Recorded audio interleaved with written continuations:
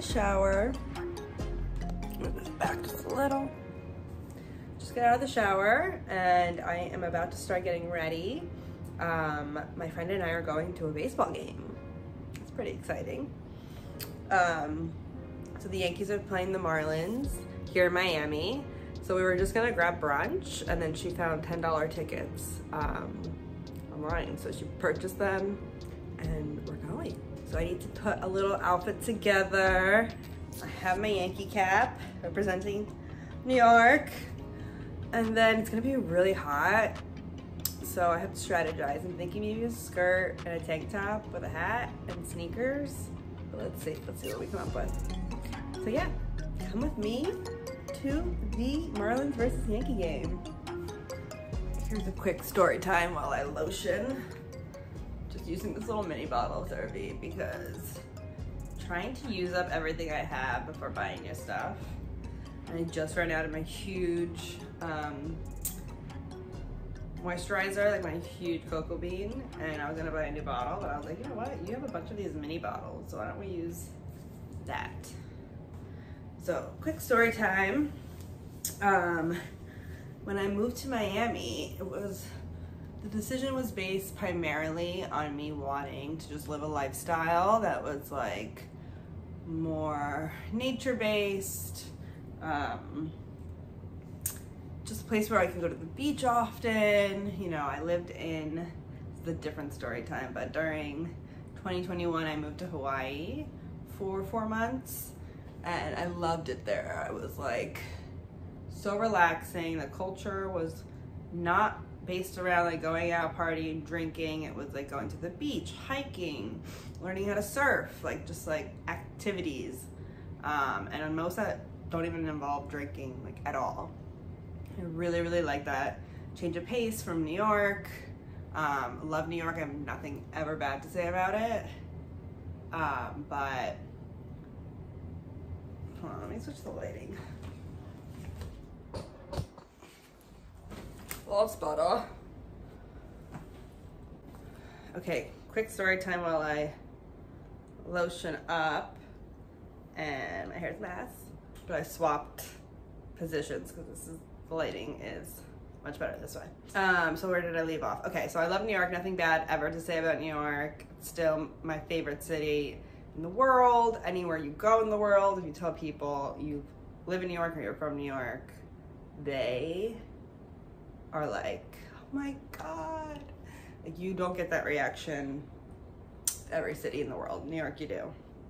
But New York lifestyle is harsh. I was there for 14 years. Um, you know, all the walking, all of the public transportation. If you like needed anything, you know, going to the store um, to get it was just like a hassle. They have a lot of delivery services, but that comes along with all the fees. Anyway, I moved home during the pandemic. I moved home during the pandemic and I bought a car because my parents live in like the suburbs of New Jersey and there's really no way to get around unless you have a car. So I had, came back from Hawaii, bought a car. Oh wait, lies. I bought a car, moved to Hawaii for four months, fell in love with the lifestyle, moved back home to New Jersey, was like living in New York still. I go drive into New York a few times a week, see my friends, work, whatever. Um, but it was just not calling my name in the same way. Like if I had extra time on my hands, I preferred going to like the beach than to a bar to grab a drink. Um, not that I'll turn down a drink, but I just prefer to go to the beach. So I started strategizing on like where could I live that has like a more low-key lifestyle and Miami just made the most sense. It is two hours away from New York. I could get to my family really quickly. They love Miami, so they can come down whenever they want. It's not like LA where I have to like do a whole six hour travel. This is like two, three hours, half the time. Um, my background, my family is Latin. My parents were born in Venezuela, so like the Latin culture here feels like home. Um, so many things, and there's also so many New York transplants now here in Miami that it feels more like home. Every single restaurant in New York that's like popular has opened up a location here in Miami. So I don't know if it's forever, but I do think that it is a good place to call home and I'm really loving it. But I will say that it is hard to be away from family and friends. Like at home, I have my whole phone book for people to reach out to people. Although a lot of my friends left the city after the pandemic, like my core group, maybe like four people were left. But I have ex coworkers, uh, old classmates that I like kind of keep in touch with, all my family, my cousins, my niece, like every everything's there. Um, so I had a few friends when I moved here. Just a few. I had a good um, a good friend from college, him and his wife. They both both actually went to college with me. Um, and then just a sprinkle, but nothing like central, like uh, nothing with a core where like everyone knew each other. It's kind of nice too. It's, refreshing to like start over in some aspects, but making friends in your 30s is not easy. I will admit that. But I love my alone time. Like I can find ways to preoccupy myself. this is a great example. Um, so I'm kind of cool living in my own little world, but it is nice to have friends and family to reach out to. So today I'm going to this baseball game with a friend who I met through one of my best friends from home. She went to college with her. Uh, she lived in New York as well. She moved to Miami. So mutual friend was like, you guys should hang out since I know both of you and you're both from New York. You know, you might hit it off. And we did, so so fun. So fun to make new friends. And I'm excited today to do something totally different than I've done before, which is a baseball game. So I'm gonna put together something simple to wear, represent New York. I have to head there around noon. We're gonna have mimosas at hers and then take an Uber to the stadium. Okay, let's get ready. What should I wear? What should I wear? What should I wear? Oh, I have this one eyebrow hair that I need to cut. And look, there she is. I need to find scissors and give it a little trim. Just being real. Look at that file. All right, let's find something to wear.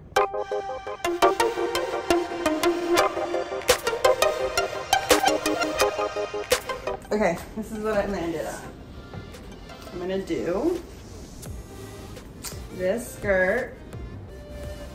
It's kind of wrinkled, but it's gonna be hot, so it's gonna get wrinkled anyways. this Zara uh, tank my Yankee hat, my clear Coach Tabby for the stadium, and my pink shades. I'm not even that much of a pink girl, but here we are.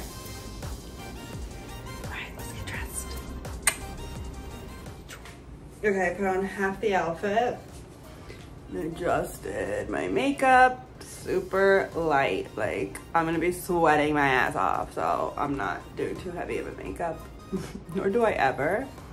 But I like this eyeshadow. It brings out the gold in my eyes. So I'm gonna do my hair. I think I'm just gonna wear a baseball cap. So I'm thinking just a pony. Like, it's gonna be so hot. All right, let's do the hair. Okay, this is the, the fit.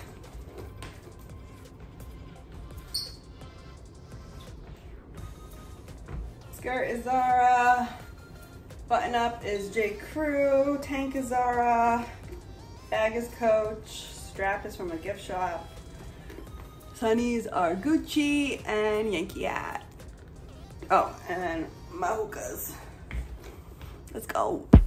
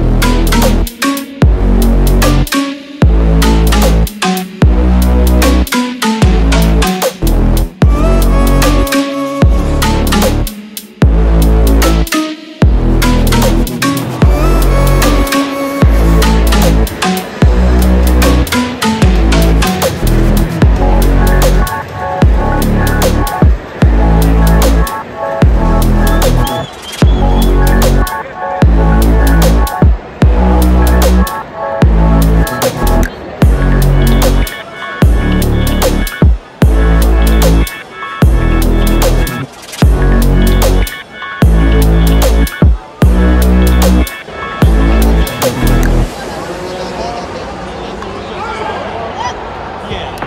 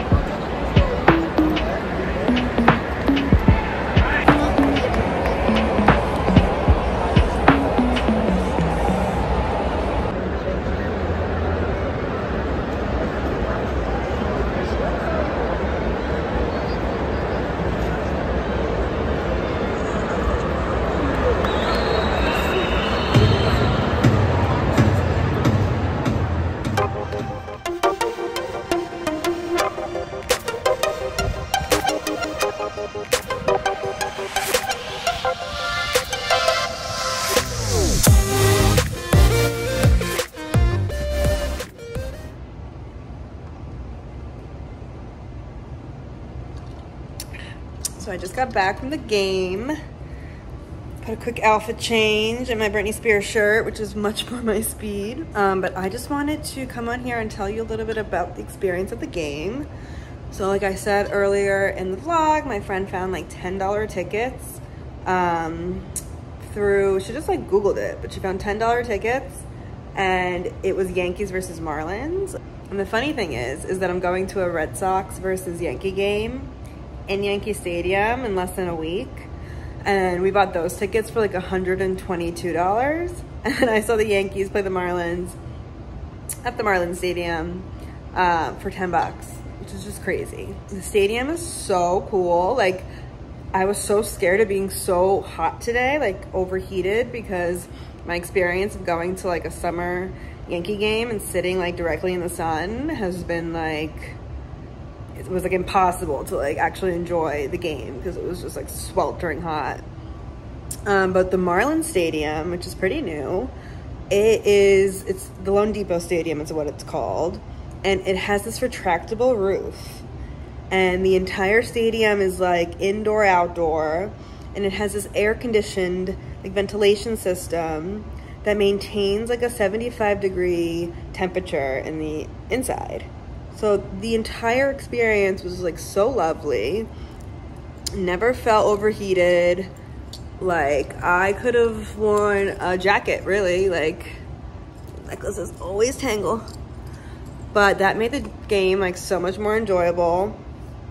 There were so many Yankee fans. Like I feel like most of Miami is maybe from New York at this point, or they're just like, you know, the Yankees were, were, because I won't spoil it, even though it's already happened.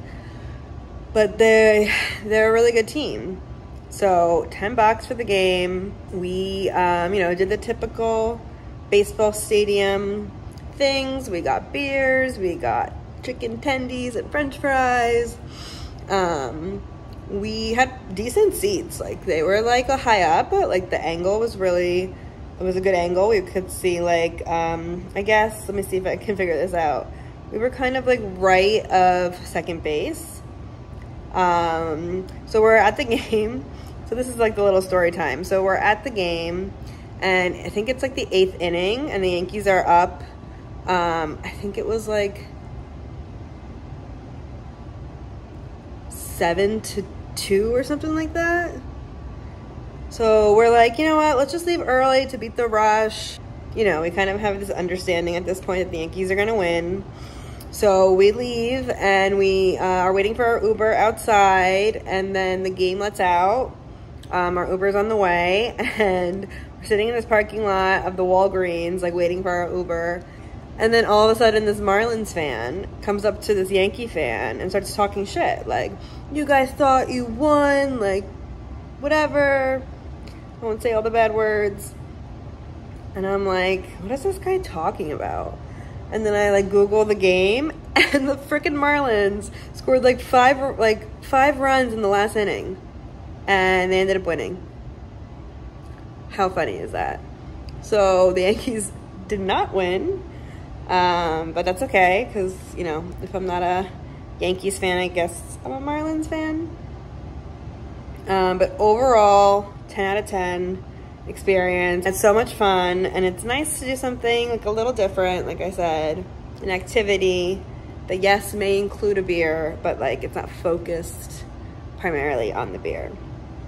Um, but you know, the game is at one, it's about 4.30 right now, maybe five.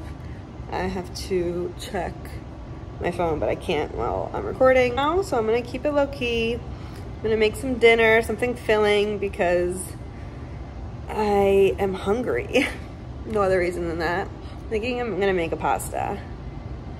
Um, and then I'm just gonna lay out by the pool for a little bit, make dinner, um, and then I might film a quick TikTok.